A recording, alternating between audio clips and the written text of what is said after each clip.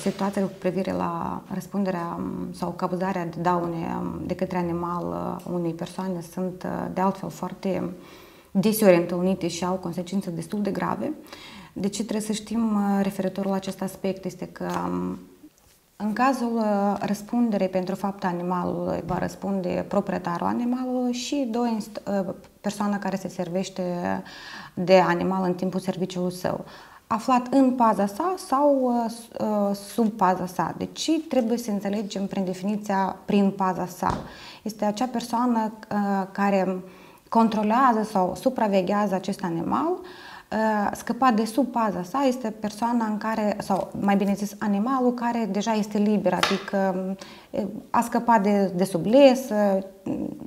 este necontrolabil. Ei, în situațiile date,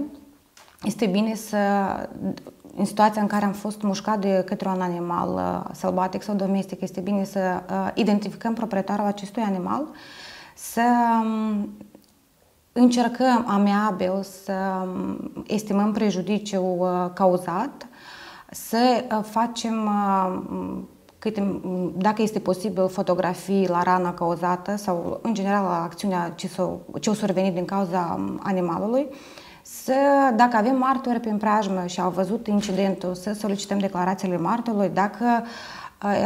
există leziuni destul de grave, este bine să apelăm um, la serviciu medical și atunci uh,